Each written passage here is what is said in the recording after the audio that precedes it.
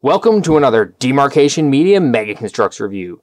Today we are going to be taking a look at a Halo Heroes Series 1 figure.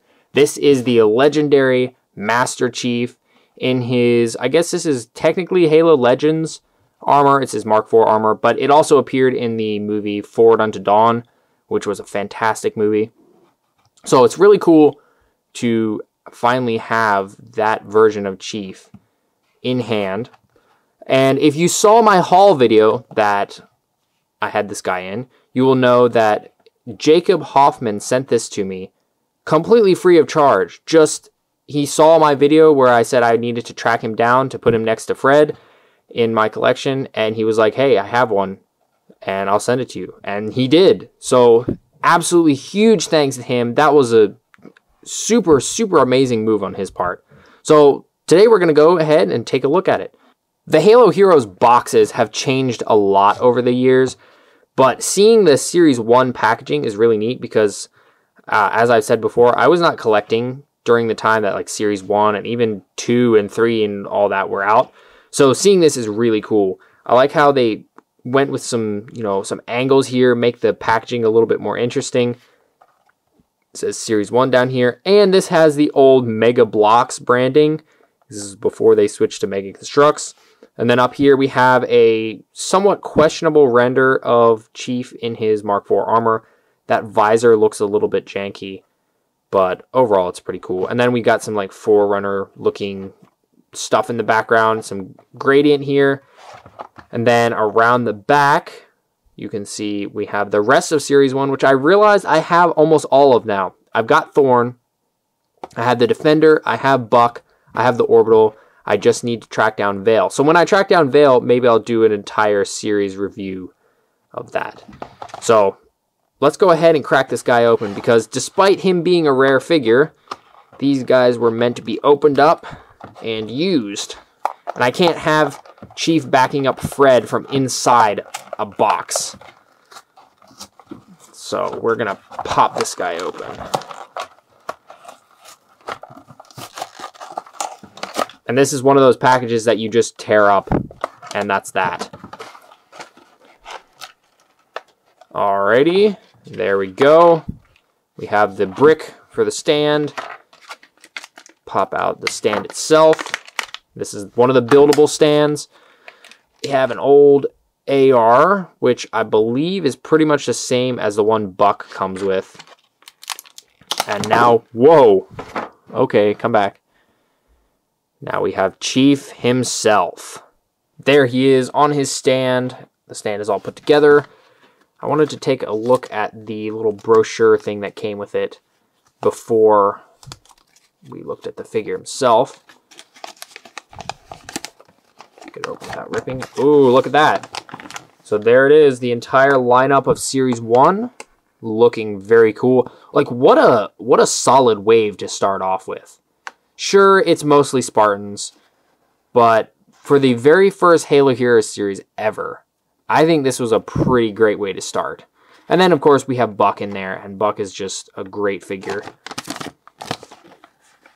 There we can see the rest of the images. Chief looks kind of weird there. His visor is like very bright, and the rest of him is very undersaturated or like under underlit. That's kind of strange. Then we just have some instructions on how to build the super articulated figures.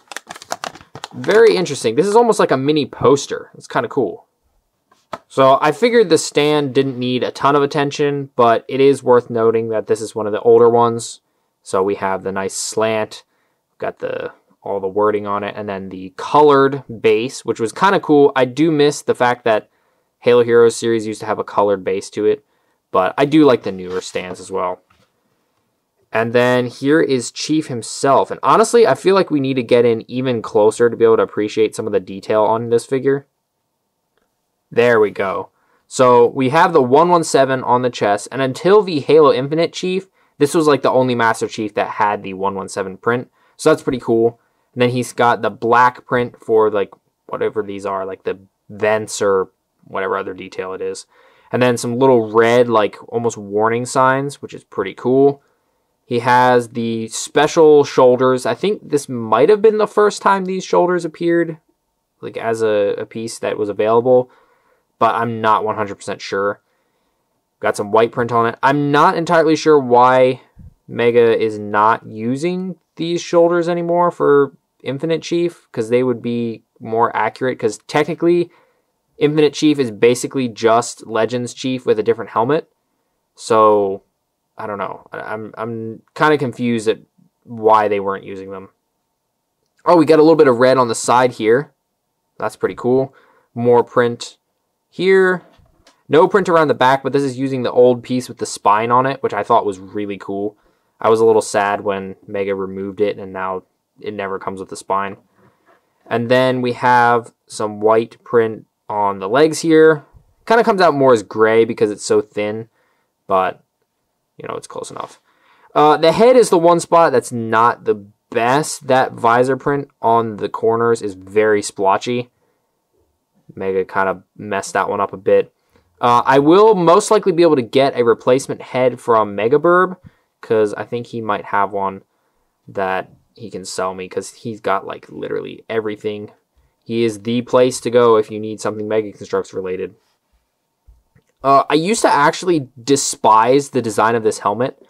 It looked, I don't know. I thought that the Halo 4 Chief helmet was like the best, and I still think that armor is one of the coolest versions of Chief. Like that was kind of the definitive Master Chief to me. And this was definitely not because the mouthpiece was so large and blocky. But then I watched Forward Unto Dawn, and that made me kind of actually like this armor. It's just a very different look for Chief. It almost makes him look more like Fred, and I don't know, for that era, I think it was really cool. His weapon is nothing super special, it's just an AR, but we do have a tiny, tiny bit of green print here and a tiny, tiny print of green there as well. Pretty interesting. Very, very oversized weapon, but it is a classic at this point. Well, there you have it. That is the Master Chief in his Mark IV armor. Now, I would be remiss if I did not get Fred and bring in Fred because the whole point of this was so that Chief and Fred could be reunited there's Chief, and there's Fred, and they look really nice side by side. Like, look at that. Look at that. That's so cool. So now we just have to wait for Kelly to come out because the next Halo Heroes series, Halo Heroes Series 16, I think it's 16, or is it 15? I keep getting the numbers mixed up. I say one and then I realize it's the other. It's one of the two but yeah, they uh, Mega is releasing Kelly from Legends in that lineup as well. So we'll get to have the whole trio here. Um, if you want to have it be like Forward Unto Dawn accurate, I think you have to remove Blue Team because I don't think Fred and Kelly had their Legends armor in Forward Unto Dawn, or at least not their helmets. But yeah, these guys look so cool next to each other. They look just so hard edged Oh, that's so cool. So once again, huge thanks to Jacob Hoffman for sending Chief to me. That was an absolutely legendary move, and I really, really appreciate it. And I'm sure Fred appreciates it as well because now he has some backup. Although I do need to go and find him a weapon. He needs a weapon. Chief has got his weapon, but Fred needs a weapon. Unfortunately, to get your hands on this guy nowadays, loose, he's going to cost you like upwards of 50 bucks. Sealed, gosh, it's sealed as like 70 on up to basically whatever people choose to ask. Uh, especially on eBay, it's absolutely insane. So I honestly don't recommend you try and track this guy down unless you just really are okay with spending a lot to get him because he's one of those figures. Basically, all of Series 1 have become pretty sought after. Thorne, Buck, Chief, are the top three from that series. The other three, you know, they're a little bit expensive depending on where you look, but especially Chief and Buck, they're really pricey. So I would say keep your eyes open. If you find like a random lot somewhere and you know you see Chief in there, go for it because this is a great figure. But please don't overpay. He's a absolutely fantastic figure, but he's not worth 50 some odd dollars. Thanks so much for watching. If you enjoyed this video, please leave a like and consider subscribing, and I'll see you next time.